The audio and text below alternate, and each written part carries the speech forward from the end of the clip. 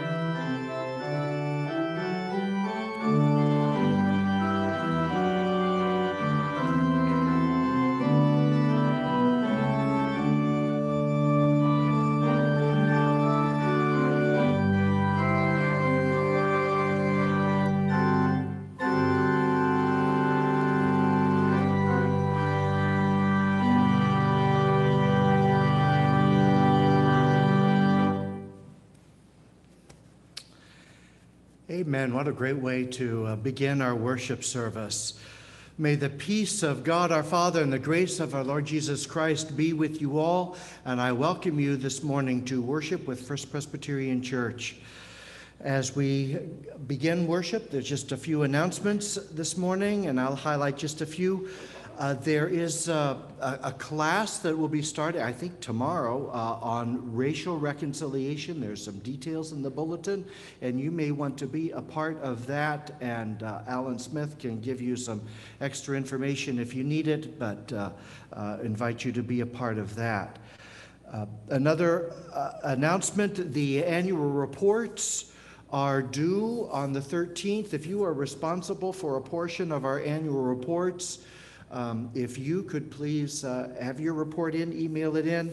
Uh, we're trying to have everything in by the 13th, and Uh, Please, if you've got these options, please use Arial as your font and 11 point, and that will save on some of the uh, editing that has to be done after the fact.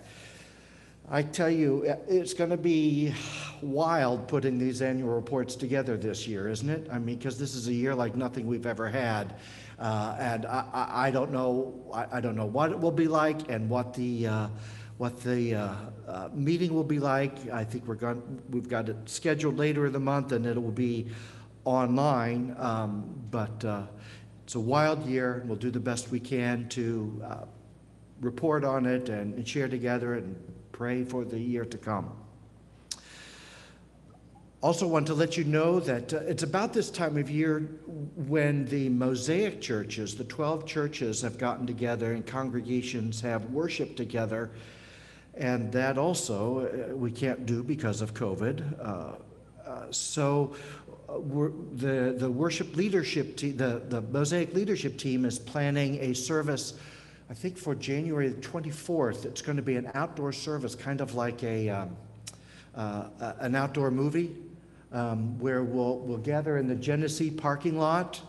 And uh, they're going to have a 40 foot screen there, and uh, we'll worship together in our cars on our FM radios. That's how it's going to work this year. So it, it, I think it's going to be kind of fun. It's, it's an adjustment to COVID, but I think it's going to be kind of fun. And I'm grateful. They, they had expected to be able to use the Genesee to film the video that they are going to use for worship. And that fell through, so they were looking for other beautiful venues in Waukegan where they could shoot the video.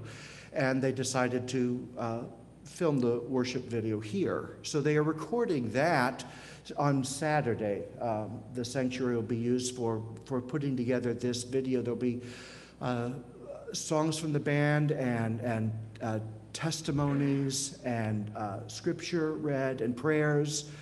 Um, and Glenn is doing a good bit of arranging for that uh, worship event. So I'm glad that we can share our space and uh, some of our gifts with uh, the, the broader Mosaic community. So that, that's coming up later. I'm grateful for that.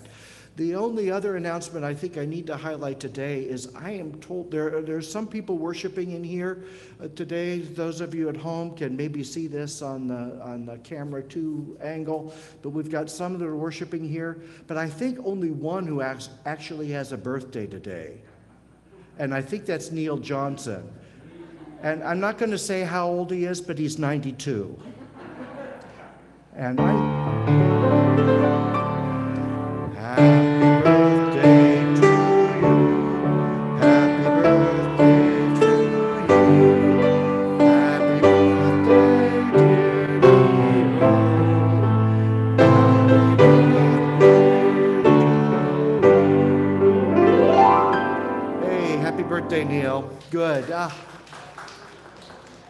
Man, it's a, it's a, those little touches are the things that we miss so much during COVID, aren't they? Uh, and I'm glad that we could do a bit of that this morning.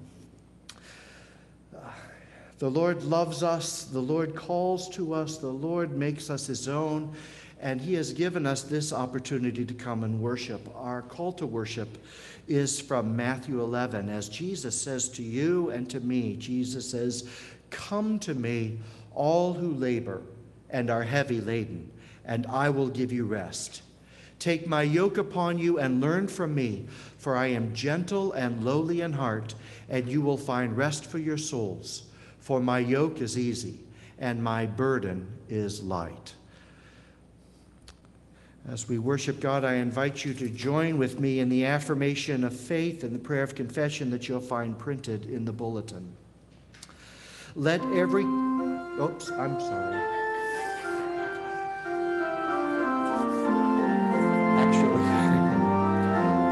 Stand for the hymn.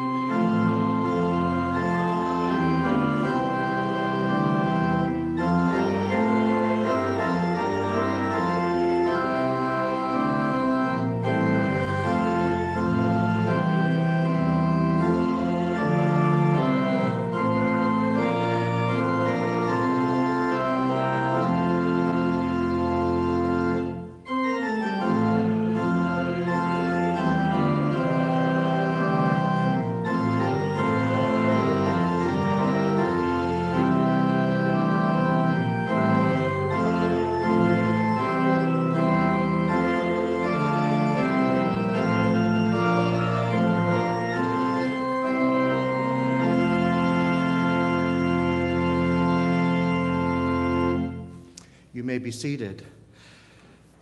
And please join with me in the affirmation of faith printed in the bulletin. Let every tongue confess Jesus Christ is Lord. Let us hold fast the confession of our hope without wavering, for he who promised is faithful.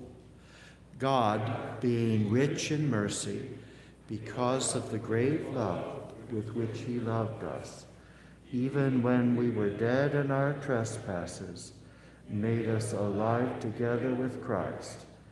By grace you have been saved, and raised us up with him, and seated us with him in the heavenly places in Christ Jesus, so that at the coming ages he might show the immeasurable riches of his grace in kindness toward us in Christ Jesus. For by grace you have been saved through faith, and this is not your own doing. It is the gift of God, not a result of works, so that no one may boast. For we are his workmanship, created in Christ Jesus for good works, which God prepared beforehand that we should walk in them.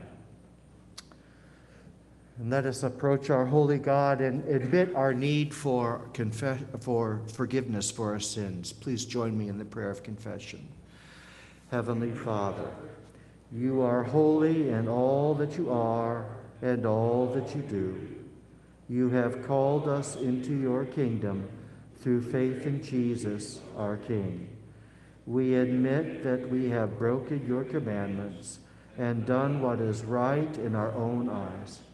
Our hearts and minds are filled with much fear and anger, and with too little thanksgiving and trust. We have grieved you and hurt others with our words and our actions. Forgive us, Lord, by your great grace. Teach us to live in repentance and faith. Our Lord and Savior, in whose name we pray. Amen. Let us keep a moment of silence and offer to God our individual prayers of confession.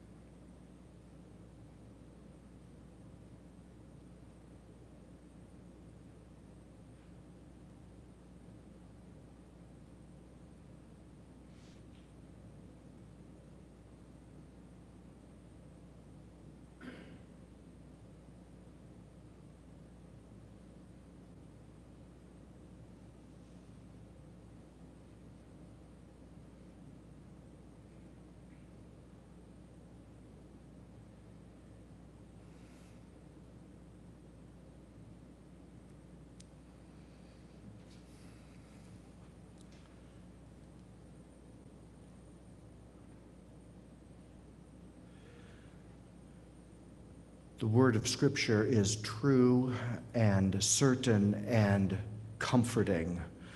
If we say we have no sin, we deceive ourselves, and the truth is not in us. If we confess our sins, God is faithful and just to forgive our sins and to cleanse us from all unrighteousness.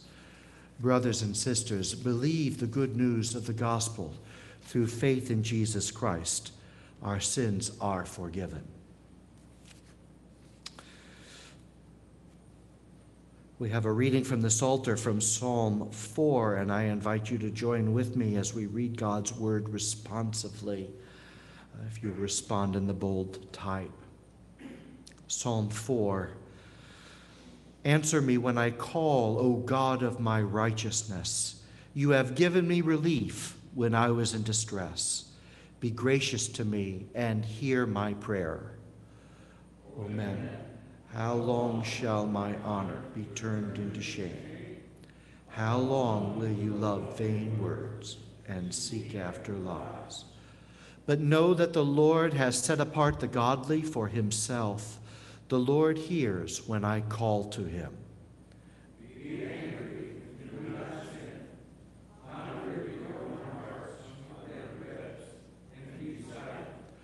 Offer right sacrifices and put your trust in the Lord.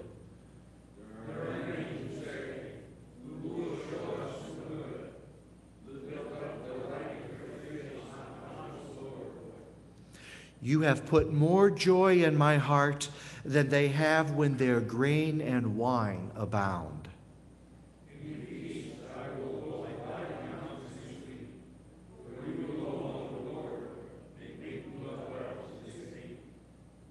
This is the word of the Lord. Thanks be to God. And Glenn, if you will come and lead us in, in Christ alone, please. All right.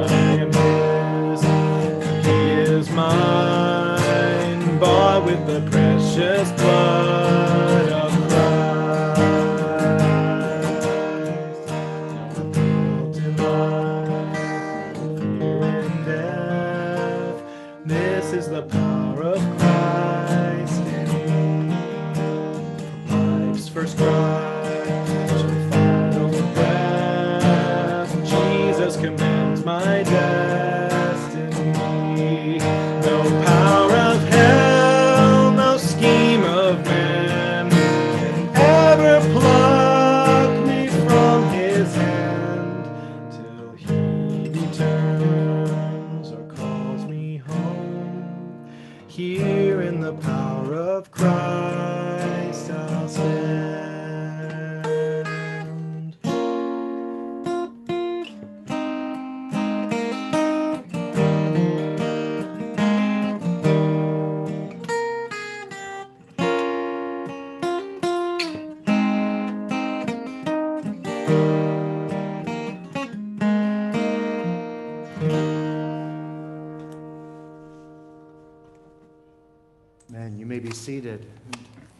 Thank you very much, Glenn. Alan, will you please come and lead us in our Bible reading from the New Testament? Today's New Testament reading is from 1 Thessalonians chapter 4 verse 13 to chapter 5 verse 11. This is found on page 1257 in the Church ESV Bibles. The section is called The Coming of the Lord and then The Day of the Lord. But we do not want you to be uninformed, brothers, about those who are asleep, that you may not grieve as others do who have no hope. For since we believe that Jesus died and rose again, even so, through Jesus, God will bring with him those who have fallen asleep. For this we declare to you by a word from the Lord, that we who are alive, who are left until the coming of the Lord, will not precede those who have fallen asleep. For the Lord himself will descend from heaven with a cry of command, with the voice of an archangel, and with the sound of the trumpet of God, and the dead in Christ will rise first. Then we who are alive, who are left, will be caught up together with them in the clouds to meet the Lord in the air, and so we will always be with the Lord. Therefore, encourage one another with these words. Now, concerning the times and the seasons, brothers have no need to have anything written to you, for you yourselves are fully aware that the day of the Lord will come like a thief in the night. While people are saying, There is peace and security, then sudden destruction will come upon them as labor pains come upon a pregnant woman, and they will not escape. But you are not in darkness, brothers, for that day to surprise you like a thief. For you are all children of light, children of the day. We are not of the night or of the darkness. So then, let us not sleep as others do, but let us keep awake and be sober. For those who sleep, sleep at night, and those who get drunk are drunk at night. But since we belong to the day, let us be sober having put on the breastplate of faith and love, and for a helmet, the hope of salvation. For God has not destined us for wrath, but to obtain salvation through our Lord Jesus Christ, who died for us so that whether we are awake or asleep, we might live with him. Therefore, encourage one another and build one another up, just as you are doing. This is the word of the Lord.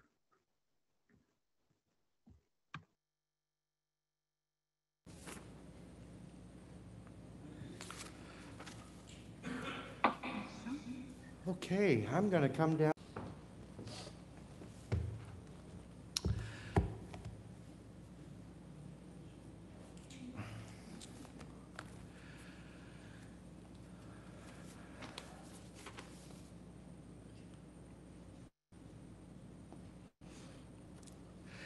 Okay, I invite you to turn with me in your Bibles to Genesis 23. We're going to be back in Genesis today.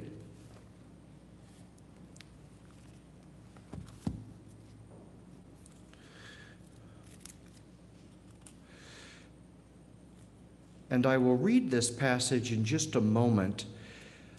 Uh, it is a shorter passage in Genesis 23 than, than most of our passages as we're going through Genesis. And I just have a couple of things to show with you. So I, um, I thought that would give me just a, a, a minute or two to reflect with you on the events of the past week. My, my heart has been full, as, as yours have. It was a hard week. We've had many hard weeks this, this last year. Um, last week was also a hard week um, as we watched what happened in our nation's capital and uh, the, uh, the uh, assault on the Capitol. Uh, what was that, Wednesday? Was that Wednesday now? One of the verses that kept coming to my mind through that is from uh, Galatians chapter 5, where uh, God inspired Paul to write, For you were called to freedom, brothers. Only do not use your freedom as an opportunity for the flesh, but through love serve one another.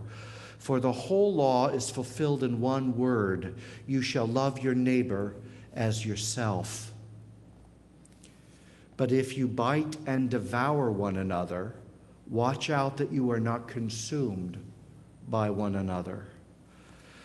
And it just seems like right now, at this point in our history, for uh, there are so many issues, and there's a lot of biting and devouring going on. Our nation is awash in what I can only describe as hot indignation. Um, half the country is yelling at the other half almost all of the time. And there are violent extremists and uh, agitators, rioters fueling the animosity all around. And it's tricky because we value, we value protests because we value truth and we value freedom. At the same time, we denounce violence and calls for violence because we are called to love our neighbors as ourselves and to love even our enemies. But uh, riotous mobs are not new, sadly. Um, assaults on the Capitol building are new, I think. I don't remember seeing anything quite like that. And it's always a shameful thing when, uh, when people will destroy personal property. Um, but this is the heart of our government, isn't it? And I was thinking about how we live in an age of skepticism and mistrust. And there is an erosion of trust in our institutions, like our government and like church. Consequently, we look for other places to put our trust in ourselves or in other uh, charismatic individuals and trust overmuch individuals who can disappoint us and trust too little in the truth which stands firm forever. And I don't know what the way forward is for our nation or if there is a way out for us. I just know that God, in His wisdom, has given us institutions.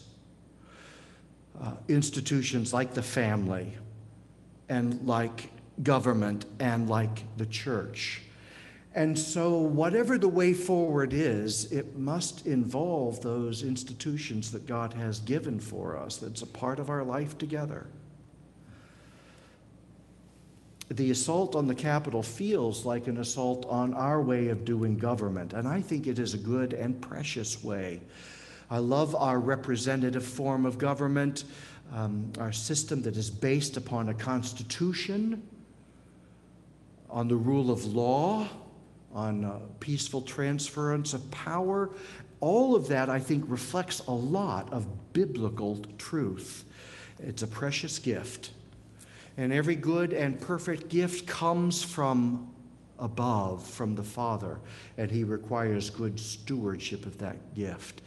And so we pray for these gifts that we have received. We pray for and support the institutions that God has made. We need to do that for our own peace and our own prosperity. And even more, He commands us to love one another.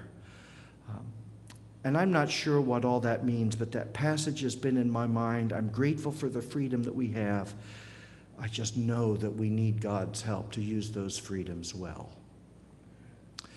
So let's pray and we will attend to God's word together. Let's pray. Our gracious Father, uh, you know that at certain times our hearts are heavy and we wonder where can we turn when we are overwhelmed or when we are afraid, when we're concerned about what's going on around us, or when we are concerned what's going on even within us, Lord. We we just don't do a very good job of ruling ourselves. But we thank you, Lord, that you have made us and that you are the high King of heaven. So enable us to bow before you and enable all of all of the authorities in this world to bow before you. Cause them, Lord, to bow and bend the knee and acknowledge your authority. But Lord, let it begin with us in this place, in this moment. Uh, let us acknowledge you as our God, our High King. Um, let us acknowledge your word as being our law and uh, our duty and our responsibility and our calling. Um, and Lord, give us grace.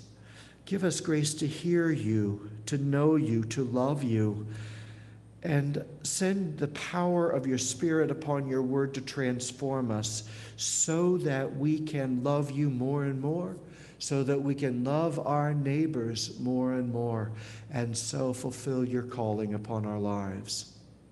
Lord, remove other distractions. Help us turn our attention to you, for it is in Christ alone that we find our hope and our salvation. So, Lord, let us receive these blessings from you as we sit together under your word, for we pray it in Jesus' name. Amen. So I read for you this morning from Genesis chapter 23, beginning in verse 1. Hear the word of God. Sarah lived 127 years.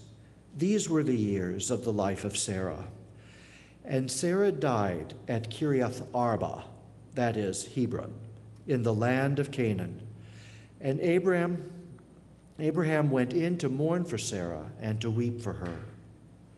And Abraham rose up from before his dead and said to the Hittites, I am a sojourner and foreigner among you. Give me property among you for a burying place, that I may bury my dead out of my sight. The Hittites answered Abraham, Hear us, my lord, you are a prince of God among us. Bury your dead in the choicest of our tombs. None of us will withhold from you his tomb to hinder you from burying your dead. Abraham rose and bowed to the Hittites, the people of the land. And he said to them, If you are willing that I should bury my dead out of my sight, hear me and entreat for me Ephron, the son of Zohar, that he may give me the cave of Machpelah, that which he owns. It is at the end of his field. For the full price let him give it me, give it to me in your presence as property for a burying place. Now Ephron was sitting among the Hittites. And Ephron the Hittite answered Abraham in the hearing of the Hittites, of all who went in at the gate of his city. No, my lord, hear me. I give you the field, and I give you the cave that is in it. In the sight of the sons of my people, I give it to you. Bury your dead. Then Abraham bowed down before the people of the land. And he said to Ephron in the hearing of all the people of the land, but if you will, hear me. I give the price of the field. Accept it from me, that I may bury my dead there. Ephron answered Abraham, My Lord, listen to me. A piece of land worth 400 shekels of silver, what is that between you and me? Bury your dead. Abraham listened to Ephron, and Abraham weighed out for Ephron the silver that he had named in the hearing of the Hittites 400 shekels of silver, according to the weights current among the merchants.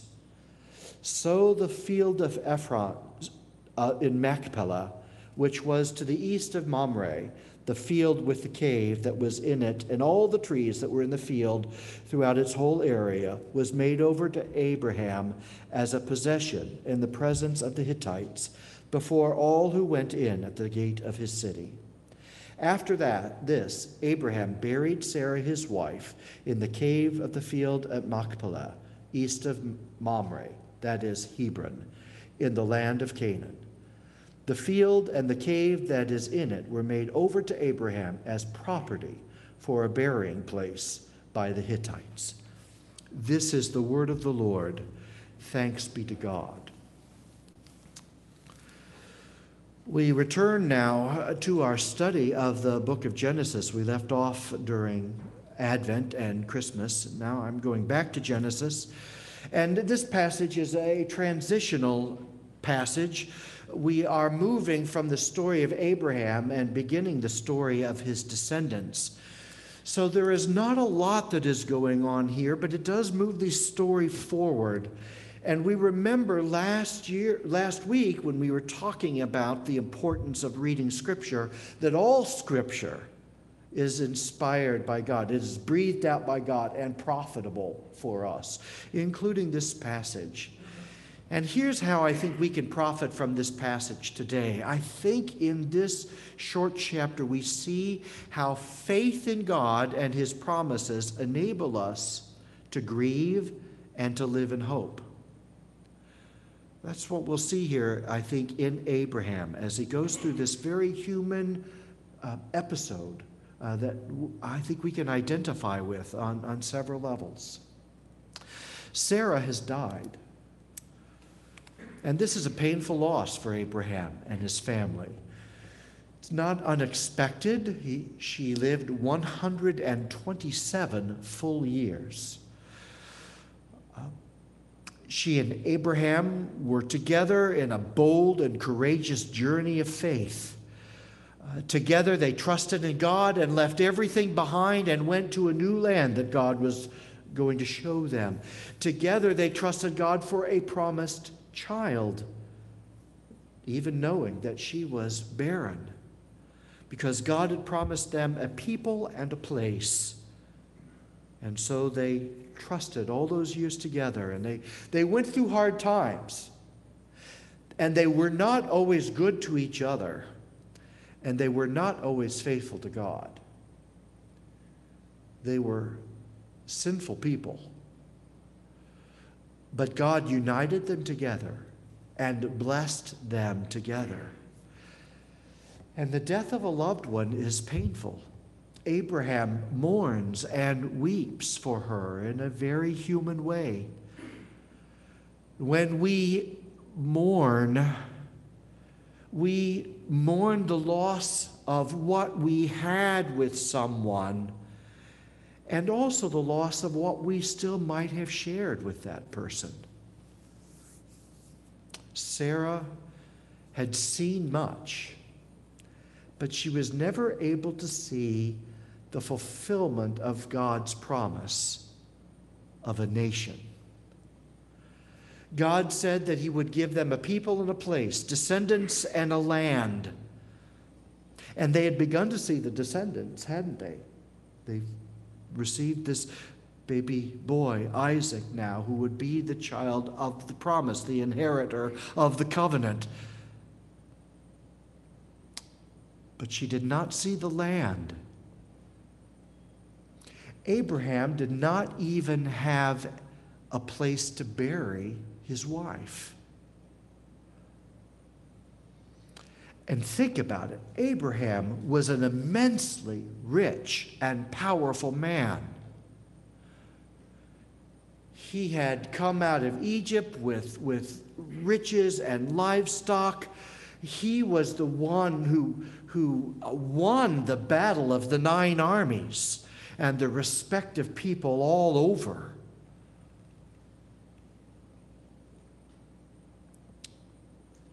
But he didn't have a square foot of property call, to call his own. Not, a, not an inch of land in his own name. So Abraham negotiates to buy the land, and it's really a fascinating look. We can look at some of the intricacies on Wednesday night and, at Bible study, but uh, quite a, a, a, conversation and, and commerce that is going here, and, and a, a picture of ancient Middle Eastern customs. But we notice Abraham describes him, rightly so. He is a sojourner and a foreigner. He is a rich and powerful man, greatly respected. He was regarded by the people as a prince of God among us. Isn't that something to be known for? That's, that, that's quite a reputation. Uh, most of us would not earn that kind of reputation. People would say, he is a prince of God among us. But that's what they said of Abraham. Even so, he is just a sojourner and a foreigner. And so he has to negotiate with the people who possess the land for a burial place. And they're quite willing to give Abraham space in their tombs. They like Abraham. They're even willing to share their land with Abraham. They have been doing so and glad to do so for, for a burial place. But they're a little reluctant to sell it to Abraham. When you have a, a, a foreigner who comes in and a sojourner come in, that remains their status. And you can keep them at bay and manage them a little bit, but once they become landowners, they become stake owners, they become a part of your community in a more substantial way. And they are reluctant to do that. And Abraham is reluctant to settle for anything else. Even when they offer a gift, Abraham doesn't want to receive it as a gift. He wants to pay for it, and he wants to pay full price for it. Gifts can be rescinded. And uh, if he pays full price for it, then he is not uh, owing anything to anyone. He is not under any obligation. There are no strings attached. So I love this. Uh, he makes this offer, and nobody bites on it, right? Uh, it's like a general volunteer. Nobody raises their hand. So he calls out Ephron. And I, how about Ephron? Said, What?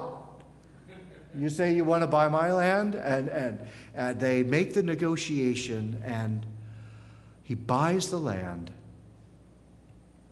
agrees to a sum. It might be a high sum, it's a little hard to tell um, because of records of the day, but it might have been a very high sum. Certainly, Ephron had a strategic um, bargaining position. But Abraham buys it and buries Sarah in that land, in the land of Canaan, in the land that God has promised to him. And that is very important. Death makes us wonder about our future, about eternal life.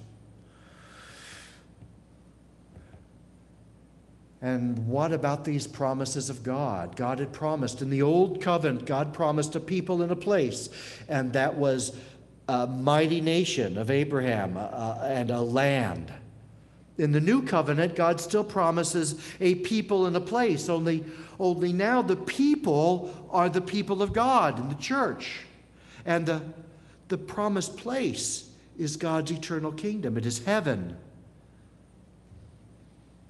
But we wonder, and death makes us wonder will we see it? And will our loved ones see it? Jesus promised us that if we believe and trust in Him, we will enter into that place that He has prepared. But we must be clean. We must be holy in order to enter into God's holy house and to live there forever. So Jesus does for us what we cannot do for ourselves, and Jesus makes us clean. He pays the penalty for our sins and pardons our guilt. And he validates that work, his promise and his power, through his own resurrection. So Jesus says, for example, in John chapter 6, For this is the will of my Father that everyone who looks on the Son and believes in him should have eternal life, and I will raise him up on the last day. That's our promise. And that's why we can grieve with hope. Abraham did not have that promise, but he had the forerunner that promise, this promise of the people and the place. And Abraham believed in that promise. And so he could grieve and he could go on living with hope. The Thessalonians were starting to wrestle with that. And Alan read our New Testament passage. I, I chose it because the Thessalonians were starting to wonder, wonder. Jesus said that uh, Jesus said, I'll come back and I will take you to be with me. And Jesus ascended into the heaven and left this world in the body. Uh, and he hadn't come back yet, and it had been a little while, and some of our loved ones have died. What's going to happen to them? And so the word teaches us we do not want you to be uninformed, brothers, about those who are asleep, that means died that you may not grieve as others do who have no hope. For since we believe that Jesus died and rose again, even so through Jesus, God will bring with him those who have fallen asleep. For this we declare to you by a word from the Lord that we who are alive and are left until the coming of the Lord will not precede those who have fallen asleep. all those who die in the faith will enter into God's promise.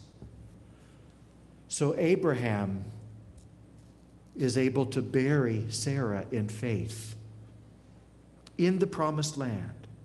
Faith enables us to grieve and to live with hope. And it is an act of faith in Almighty God that Abraham buries Sarah, buys the land, and buries Sarah there. If there was ever a time when it seemed like a good idea to give up and to go back home, this would be it. Abraham has no ties in the land. He has put down no roots in the land. He is fabulously wealthy, but all of his wealth is liquid. It's all transportable. And now Sarah has died, and it could have seemed like the perfect time. Look, it, it, it's been a good run, and God has blessed us here, but we're going to go back to our families.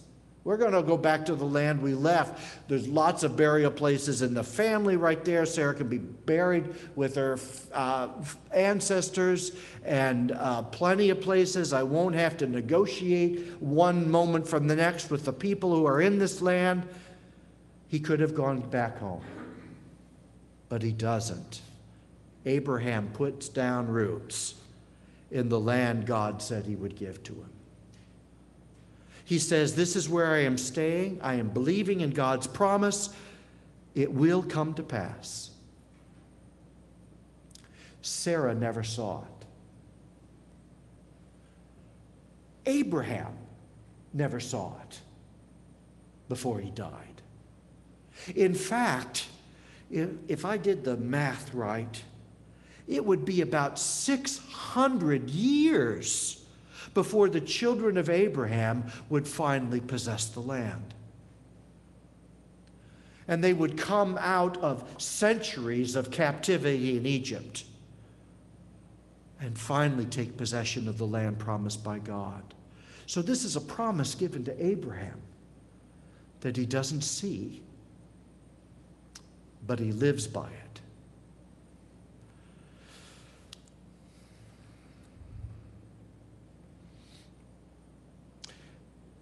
And we have not seen the hope of heaven yet, have we? But it is promised to us. And we live by it, and we die by it, and we grieve in that promise. We will enter our home. And we put down roots in God's kingdom. And we can't buy a parcel of land in heaven but we, we put our roots down by putting our faith in the death and resurrection of Jesus and by holding fast to him in chaotic times. And not putting our hopes and efforts into the comforts and pleasures and securities of this world, but trusting in God to secure for us everlasting joy. Hear me, brothers and sisters, this does not mean that we are indifferent to this life. God made the garden and put us in it to tend the garden. We have a job to do while we are here. We are called to be uh, salt and light, to be faithful stewards, to love our neighbors in word and in deed, to seek the peace and the prosperity of our communities. And I think we're called to be good patriots as well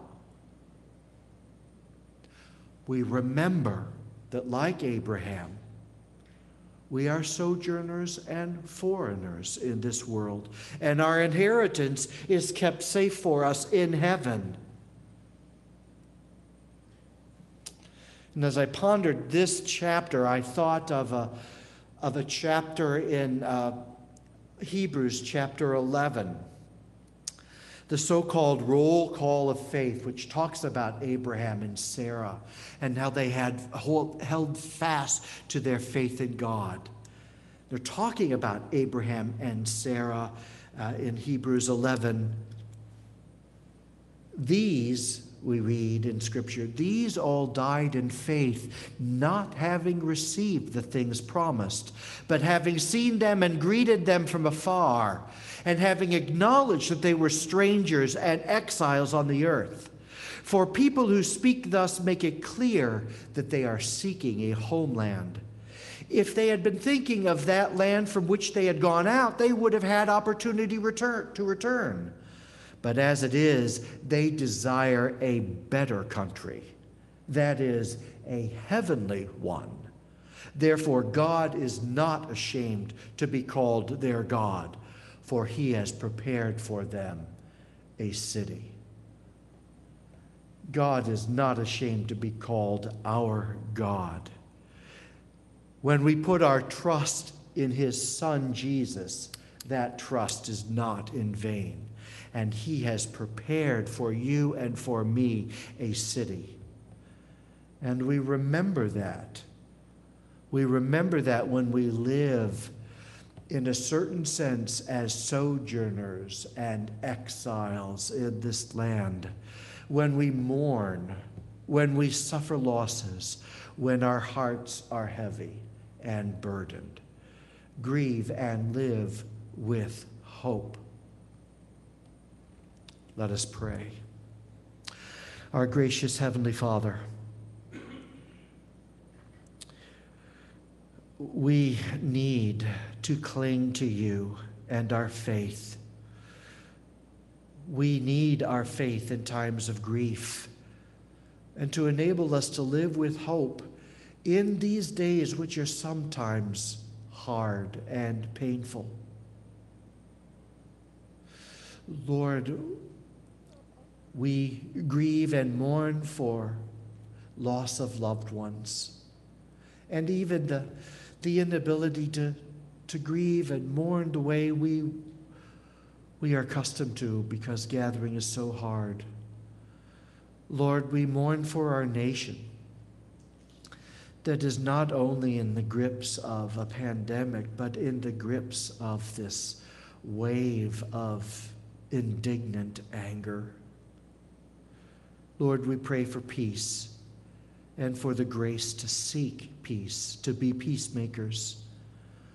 Lord, we pray for our leaders that you would cause them to lead in righteousness and we pray that you will give strength to your church and show us how to be salt and light and witness to the eternal kingdom of God. Lord, would you give us passion without unrighteous hatred?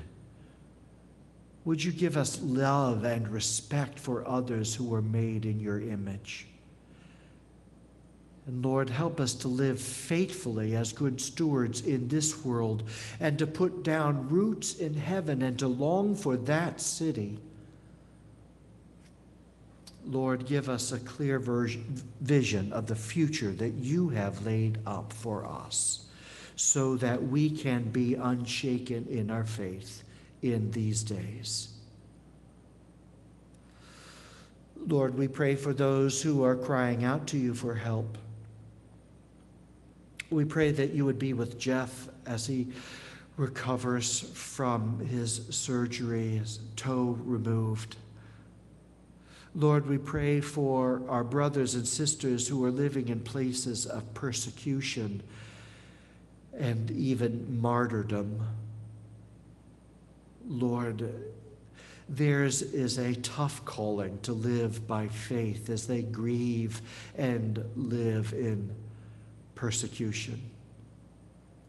Lord, we pray also for, for loved ones who are battling with COVID. Most of us know people now who, who have uh, tested positive, and we pray, Lord, that symptoms would be light and pass quickly. We pray that you would protect those who have not contracted the disease, that the vaccinations would be effective that this scourge would be finally driven away. And as we wait, Lord, do not uh, let us be overwhelmed or to despair, but to continue to trust in you and to live not, sim with gri- not simply with grim determination, but Lord, by your grace, enable us to live with joy, for this is, this is the life to which you have called us. Father, we pray for joyful celebrations like Neil's birthday. Lord, for many blessings that you've given to us, for, for children like Isabella, for the, for the joy of, of seeing, seeing children on uh, the screen here. Um, Lord, these children are precious to us and to you, and watch over them. And Lord, watch over your children everywhere. We pray for the Mosaic churches as they're planning to, to have this joint worship service. And Lord, uh, anoint that time on Saturday when they gather in this sanctuary and work together to put together a video that will lead congregations in worship.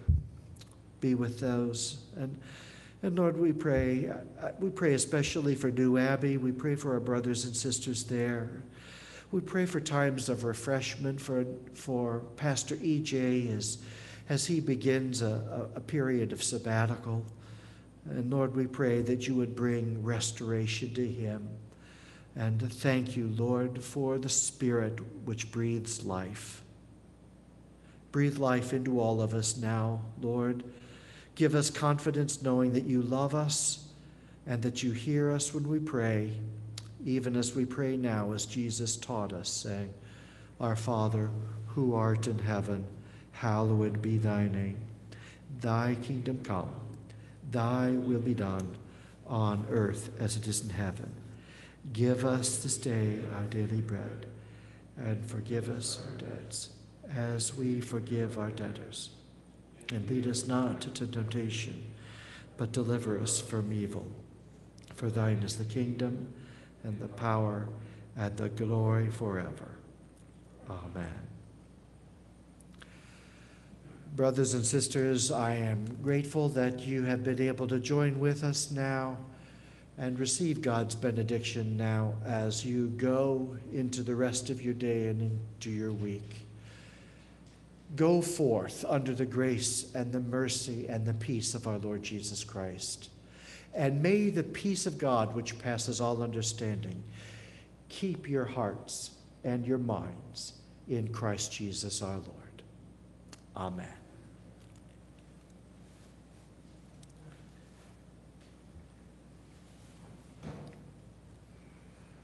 Thank you all for zooming in. Good to see you.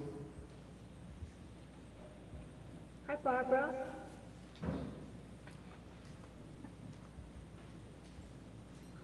Hi, Barb Norris. Good morning, Sherry. Alan, thanks for reading. You're welcome.